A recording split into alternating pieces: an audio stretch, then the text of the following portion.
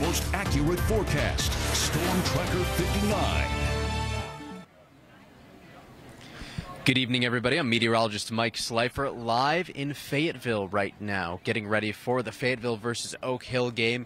And I got to say, for the first day of fall, it is absolutely beautiful out here. There are some thin clouds up above us, but no rain. The Storm Tracker 59 HD Dual Live Doppler is totally clear right now. We really don't have much to talk about, and that's how it's going to be for the next few days. That's also how it's been.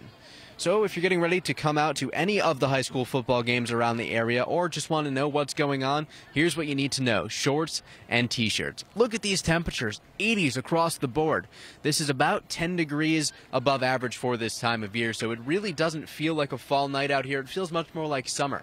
There's even a touch of humidity in some areas. Uh, the other thing that I want to mention here is if you've got the air conditioning still in the window, you might want to turn that back on tonight because it looks like we'll see some more of these temperatures since we are stuck in this dry pattern. We are a little bit on the drier side, but the good news is we don't have an active drought right now. That could change with all of the dry weather we have in store. And again, here's a look at your game of the night forecast for our Crossroads Chevrolet game of the week. We'll be in the 70s for kickoff, slowly dropping down down into the mid 70s and eventually the low 70s by the time it's ready to go home. But don't think you need the jackets. Don't think you need the blankets. Just grab the t shirts and come out and enjoy some of the nicer weather.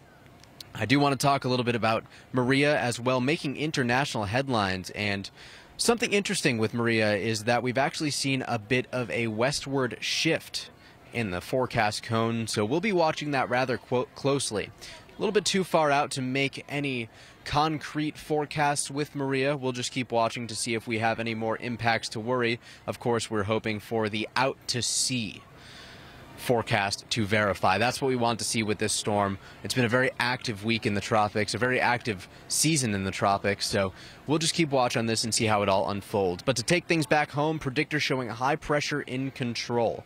Plenty of sunshine expected for the next few days, a touch of humidity, warmer temperatures, a big ridge built up over us in the jet stream. That's going to help keep things dry and keep things clear, and we don't see much of a change in the pattern until we get into late next week. It's even a little bit too far out for predictor to show, but that looks like when we could see some showers return to the forecast and also see those temperatures drop back a little bit. But if you're not ready for that fall like weather, if you still want summer to stick around, it is here right now. Look at this 10 day forecast. Plenty of sunshine, plenty of warmer temperatures. You'll see the 80s through the weekend and into the start of next work week. Once we get a little later into next week, we'll watch those temperatures drop back into the 70s. And if you look at the bottom of your screen for the start of next weekend, we can actually see some of those temperatures drop back into the 60s. So it looks like we could make a switch to be below average. Still a little bit far out to say anything too concrete. Overall, Shannon, I think it's going to be a beautiful night out here in Fayetteville and around the entire region. For now, we'll send it back to you in the studio. All right, thanks, Mike. You enjoy that sunshine out there, and we'll check back in with you a little bit later on. And coming up on 15.